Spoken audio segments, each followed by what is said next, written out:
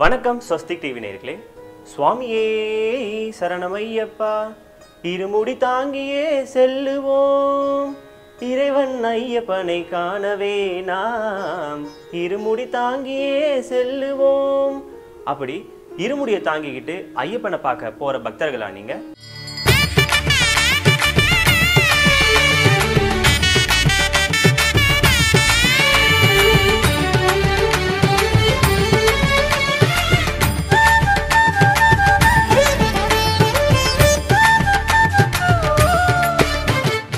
சபரிமலை ஐயப்பன் கோவிலில் இந்த ஆண்டு மண்டல பூஜையின் போது சுவாமி தரிசனம் செய்வதற்காக இணைய வழி முன்பதிவு தொடங்கப்பட்டுள்ளது.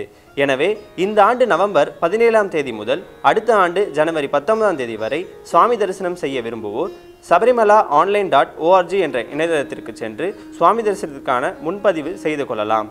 இந்த ஆண்டு உண்டியல் உள்ளிட்ட பல்வேறு காணிக்கைகளை இணையதளத்தில் செலுத்தும் வகையில் புதிதாக வடிவமைக்கப்பட்டுள்ளது. சபரிமலையில் சுவாமி ஐயப்பன் கோவிலில் நிகழாண்டு மண்டல பூஜை நவம்பர் பதினாறாம் தேதி தொடங்குகிறது. இதையொட்டி நவம்பர் பதினாறாம் தேதி மாலை ஐந்து மணிக்கு கோவில் நடை திறக்கப்பட்டு டிசம்பர் இருபத்தி ஏழாம் தேதி மூடப்படும். அதைத் தொடர்ந்து மகரவிளக்கு பூஜைக்காக மீண்டும் திறக்கப்படும். பின்பு டிசம்பர் முப்பத்தி ஓராம் தேதி மாலை திறக்கப்பட்டு ஜனவரி பத்தொன்பதாம் தேதி வரை மகரவிளக்கு பூஜைக்காக நடை திறக்கப்பட்டிருக்கும். மண்டல பூஜை மகரவிளக்கு பூஜை மாதங்களில் சபரிமலை பக்தர்கள் கூட்டம் மிக அதிகமாக இருக்கும். தமிழ்நாடு ஆந்திரா கர்நாடகா உள்ளிட்ட இந்தியாவின் பல்வேறு மாநிலங்களிலிருந்தும் பக்தர்கள் சபரிமலையில் குவிய தொடங்குவார்கள்.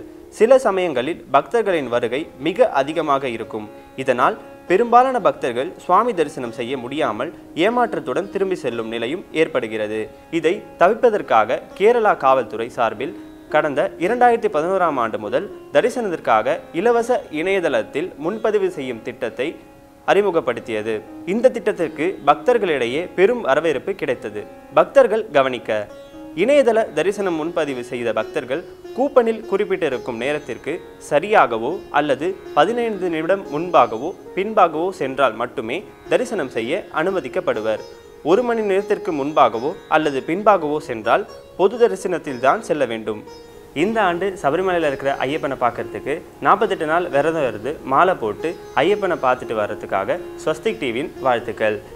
சுவாமியே சரணமையப்பா